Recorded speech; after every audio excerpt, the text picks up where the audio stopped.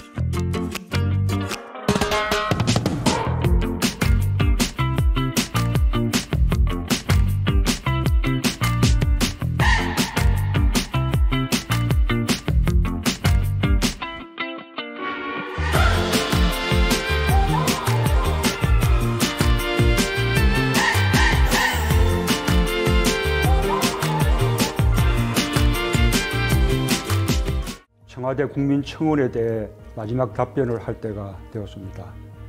마지막 답변만큼은 제가 직접 하기로 했습니다.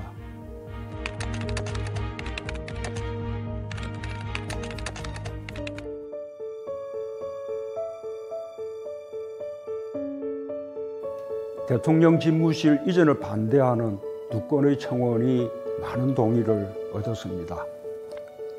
두 건을 합해 동의 수가 75만 명이 넘었습니다.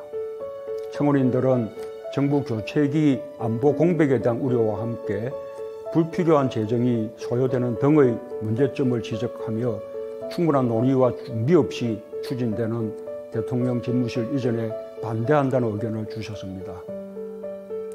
개인적으로는 저도 청원 내용에 공감합니다. 원래 공약했던 광화문 이전이 어렵다면 그런데도 많은 비용을 들여 광화문이 아닌 다른 곳으로 꼭 이전해야 하는 것인지 이전한다고 해도 국방부 청사가 가장 적절한 곳인지 안보가 엄중해지는 시기에 국방부와 합참, 외교부 장관 공간 등을 연쇄 이전시키는 방식으로 추진하는 것이 맞는지 의문이라는 생각을 가지고 있습니다. 하지만 차기 정부가 꼭 고집한다면 물러나는 정부로서는 혼란을 더 키울 수가 없는 것이 현실입니다.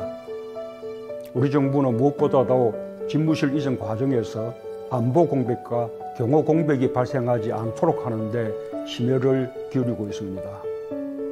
그렇게 하지 않을 수 없는 우리 정부의 입장에 양해를 구합니다.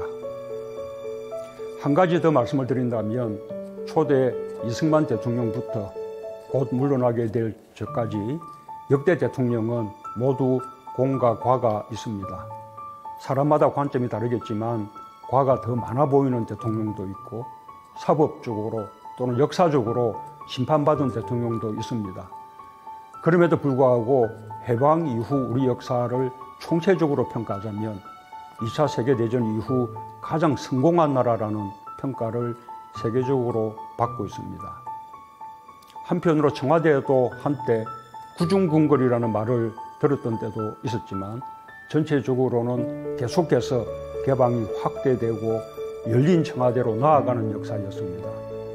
우리 정부에서도 청와대 앞길이 개방되었고 인왕산과 북악산이 전면 개방되었습니다.